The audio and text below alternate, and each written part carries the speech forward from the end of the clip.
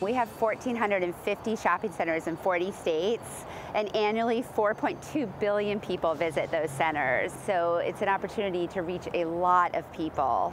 All right, so you see the number right there, 988, where there's a new campaign right now to make sure communities know that help for people who are experiencing mental health crisis is only a phone call or text away. Research shows the majority of Americans have never even heard of 988. And while 35% of people in Georgia have heard of 988, only half understand what it is. So let's talk about it.